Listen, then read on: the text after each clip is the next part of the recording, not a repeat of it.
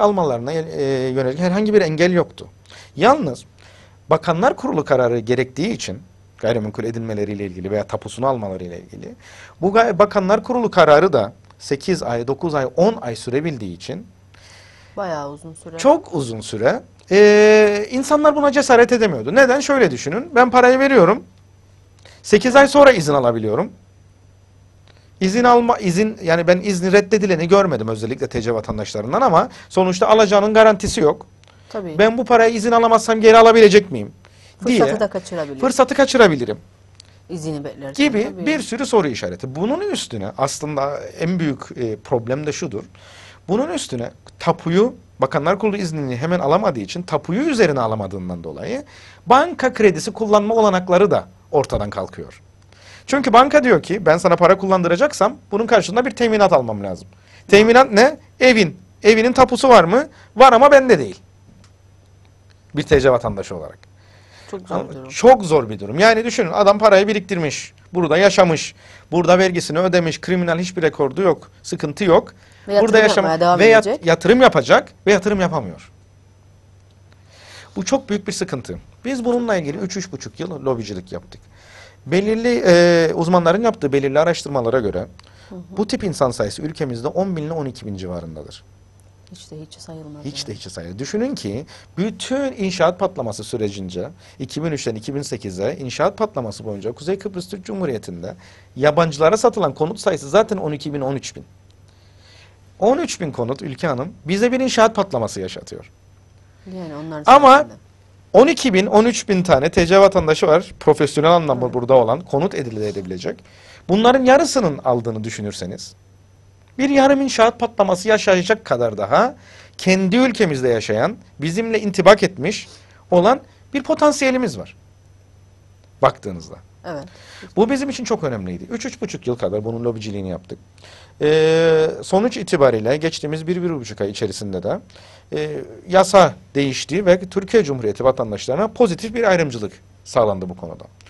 Bu çok harika bir haber oldu. Evet. Çok güzel. Harika bir haber Yani oldu. o süre kısaldı mı? Şimdi o süre kısaldı. Pozitif bir ayrımcılık var. Çok daha kolay bir şekilde e, Bakanlar Kurulu izni elde edilebiliyor. Hatta bazı durumlarda gerek de kalmıyor. Başvuru tarihlerine bağlı olarak gerek de kalmıyor ve konut edinme hakları, daha doğrusu konutu konutun tapusunu edinme hakları hemen veriliyor. Yalnız burada halen daha pratikte benim gördüğüm belli sıkıntılar var. Nedir bu sıkıntılar? Şimdi 7 8 9 yıl KKTC'de yaşamış, işte e, çalışma izniyle burada olunan vergisini, sosyal sigorta ihtiyat sandığını buraya ödemiş insanlar sonuç itibariyle burada banka hizmetlerinde, bankacılık hizmetlerinden de yararlanıyorlar. Evet. Mevduatları var, bu, e, ne bileyim mevduatta faizde paraları var, kredi kullanıyorlar, arabalarını burada almışlar, kredi kullanıyorlar vesaire. Ama hala da pratikte görüyorum ki özellikle bir takım bankalar TC vatandaşı olunca böyle birazcık geri adım atma ihtiyacı duyuyorlar. Burada sıkıntı şu. Bankaların genelde tercih ettiği profil memur Evet. Veya memur Maaş kefil. garantili. Maaş garantili veya memur Emekli. kefil. Ama bu insanlar TC kökenli vatandaşlarımızın hiçbiri memur değil. Memur kefil bulmakta da zorlanıyorlar. Tabii ki. Dolayısıyla e, yasanın değişmiş olmasına rağmen, önlerinin açılmış olmasına rağmen hala da pratikte belli bir takım bankaların e, kendi prosedürsel sıkıntıları üzerinden yüzünden hala daha tam potansiyele ulaşabilmiş değiliz. Yani bunu e, gerçekleştiren Kıbrıs bankalarıdır yoksa TC bankaları da aynı şekilde. Çeşitli bankalar ben Kıbrıs TC diye ayırmak istemiyorum. Çok da hoşlanmıyorum bundan. Çünkü Kuzey Kıbrıs Türk Cumhuriyeti'nde olan hepsi sonuçta Kıbrıs Bankası'dır diye görmek Ama lazım ama. prosedürleri farklıdır sanırım. Prosedürler farklıdır. Ee, Farklı. bazıları daha inceleyip sık dokur. Yani Bazıları daha e, bilançoya vesaireye bakmadan hareket edebilir. geçmiş programda da konuşmuştuk Evet. bunu. Geçmiş Artık programda da faiz oranları e, daha şeydir. Evet çok ciddi fark eder faiz oranları.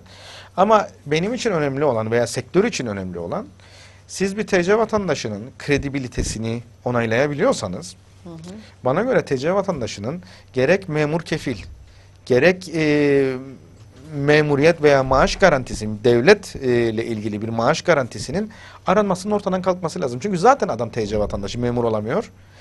Kaç tane memur tanıyor da bunun e, kefaletini alabilecek, memur kefil bulabilecek? Mümkün değil pratikte.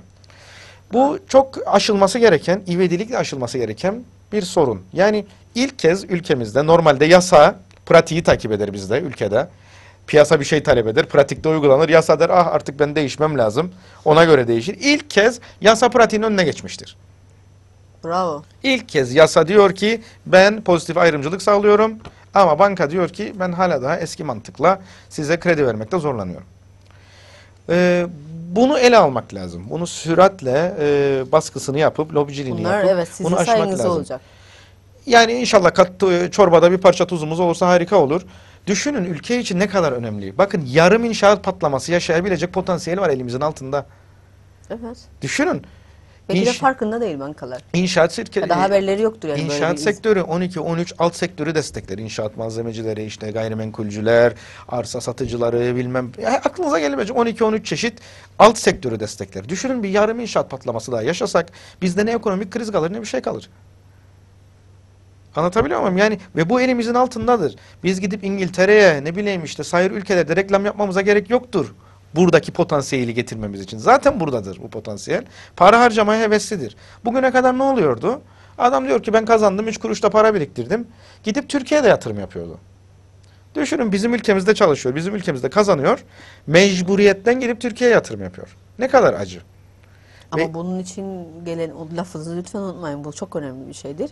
Ben de şunu e, sevmiyorum. Bizim ülkemizde yaşayıp burada sadece para kazanıp Hı hı. e, çok kötü şartlarda hem de yaşayıp yani yok ki normal. Evet. İşte burayı kendisine ülke seçip de gelen yerleşen insanlar değil. Evet. Buranın havasını, suyunu, bütün koşullarını severek kalan insanlar da var. Onlar yatırım da yaparlar. Evet. Onların önüne geçilmemesi gerekir. Hatta Kesinlikle. vatandaşlık dahi verilmesi gerekir eğer talep ediyorlarsa. O tartışılır vatandaşlık verip verilmemesi de. Ama e, çok kötü şartlarda, ev denilmeyecek yerlerde yaşayıp sadece burada çalışıp e, doğru dürüst gıda bile yemeden Haklısınız Ülke Hanım da. e, burada çalışıp parasını direkt kendi ülkesine götürüp orada ev yer sahibi olan Şimdi- insanlar telefonlara bağlanır. Mesela bizim sabah programımızda özellikle işte vatandaş çocuğunu okutma zamanı geldi. İmkan yok artık yani yardıma ihtiyacı var ama Evet. vatandaş olmadığı için bu ülkeden yardım alamıyor. O zaman talep eder vatandaş olsun. E sen bu ülkeye ne yatırım yaptın? Hangi vergileri ödedin? Ne, ne, ne gibi gayrimenkullerin var? Sen burada kazanıp Türkiye'ye yatırıyorsun. Tamam haklısınız. Doğrudur. Bu da- 40-50 bin kişi var ülkemizde bu e, çalışmak için bulunan. Ama benim bahsettiğim onlar değil. Değil ama bu konu geldi Evet, diye konu geldi. istedim. Benim bahsettiğim o değil. Yani aslında baktığınızda dünyanın birçok yerinde e, kendi vatanından kopup daha iyi şartlarda çalışmaya gelen ama çalıştığında ülkesine geri gönderen insanlar var ki bu da çok anormal değil aslında. Ben bunu çok anormal karşılamıyorum. Ben de karşılamıyorum Benim ama bahsettiğim 10-12 bin kişi ülkemizde gerçekten intibak etmiş, gerçek anlamda yasal olarak bulunan çalışma izni, sosyal sigortası, ihtiyaç sandığı tam olmuş, KKTC'nin averaj kültür seviyesinde veya üzerinde olan insanlardan bahsediyorum. Evet. Bunlar ülkemizde profesyonel anlamda bulunmaktadırlar. Bahsettim. İşte e, otelcilerdir, gazinoculardır, Bankacılar. bilmem bankacılardır, sigortacılardır vesaire. Çok var bunlar. Hastanede çalışan nörsünden doktoruna tutun. Hepsi. Öğretim görevlileri. Bugün siz bir öğretim görevlisine neden bir konut satmayasınız? Neden satmayasınız? Adam profesördür, doktordur. Neden satmayalım yani? Veya bir banka, banka müdürü düşünün. Banka müdürü kredi alamıyor sırf bu sebepten dolayı. Banka müdürü. Nasıl olabilir böyle bir şey? Çok Ben bu acayip. insanları istiyorum. Bu insanlar ülkemize gelsinler, vergisini ödesinler, konutlarını burada edinsinler. iki tane, üç tane konut alsınlar. Bu harika bir şey. Ben sizin söylediğinizi anlıyorum, hak da veriyorum. Ama ikisini de farklılaştırmak lazım. Evet. İkisini ayrıştırmak lazım. Evet. Dolayısıyla benim burada çağrım, e, elimizin altında bize yarım inşaat patlaması yaşatacak kadar bir potansiyel var. Bu potansiyeli lütfen pratikte değerlendirelim. Birçok sorunumuzun çözümü bu olabilir.